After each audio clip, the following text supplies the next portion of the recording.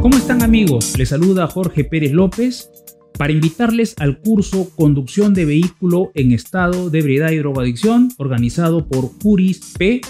En este curso se abordarán temas relacionados a las características típicas de este ilícito penal, su relación también con el derecho administrativo, ¿no? Las pruebas, cómo se actúan las pruebas dentro de este procedimiento.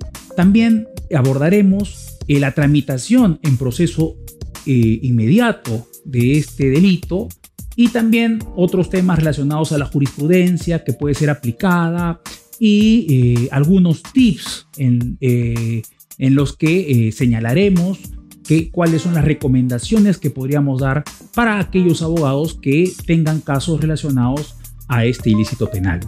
Este curso está dirigido a abogados y también a personas que tengan algún tipo de problema relacionado con estos ilícitos penales, no cualquiera que sea.